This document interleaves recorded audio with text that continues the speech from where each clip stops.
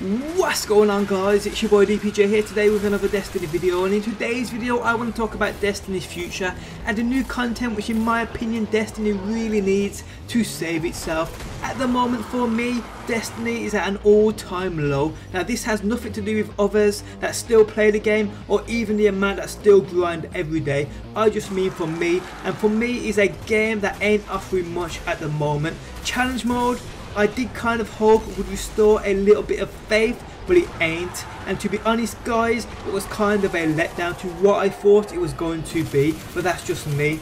And really that's just me being an idiot and overhyping shit. But to be honest I can't really blame myself as I'm just in a state of mind with Destiny that anything new I hear about gets me all excited and shit. So I do in general overhype things, but in all honesty Destiny for me at the moment is dry and playing it just don't feel right as of what I'm doing I've done and don't really need to do. You know what people? I haven't even run the raid in over a month. That's how crazy shit's gone. Even with challenge mode, I ran up to War Priest and stopped on all three characters. And what makes playing Destiny at the moment even worse is the other great games that have just come out. Maybe this as a time where Destiny is dry is actually a good thing as so many new games have just come out. I think Bungie knew about this and I think they chose not to try and compete as it would have been kind of dangerous. Look at it from Bungie's point of view. Bungie knew at this time of year that many new releases were coming out and a major part of their player base would be playing new games and I feel they were being really smart about it. For sure, the hardcore player such as myself, who basically has only played Destiny for the past year, will feel a little disappointed at how dry it is at the moment and will find it even harder to move on to new games. But in all honesty, it isn't a bad move to move on and try other games. Bungie knows this too. At the end of the day, there was this new influx of games coming. They could have chose to try and compete by like maybe releasing a new DLC and trying to keep their players playing Destiny, even with all these new games rolling out.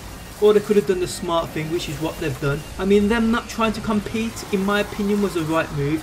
As look at it this way, people will be moving on to play new games, and I ain't saying they would never come back, it's just games like Black Ops 3, Star Wars and Fallout are all hard to resist and some games people were playing before Destiny and no matter what Bungie did people would still take time out of Destiny to play these other titles. Bungie staying in the shadows here is a smart move on their behalf taking a back seat and waiting for the right time before announcing and dropping new DLC was a great call. Letting us have fun with other games before hitting us with new content is really really smart dropping DLC while other games are being released left, right and centre will only result in people less interested in what they have to offer in terms of DLC and new content. Then waiting is the right call and yeah for sure for the hardcore player it's not what we want. We want DLC every damn week but it ain't gonna be the case so stop dreaming. So when will we be getting this new content? I believe something will be announced at PSX this weekend.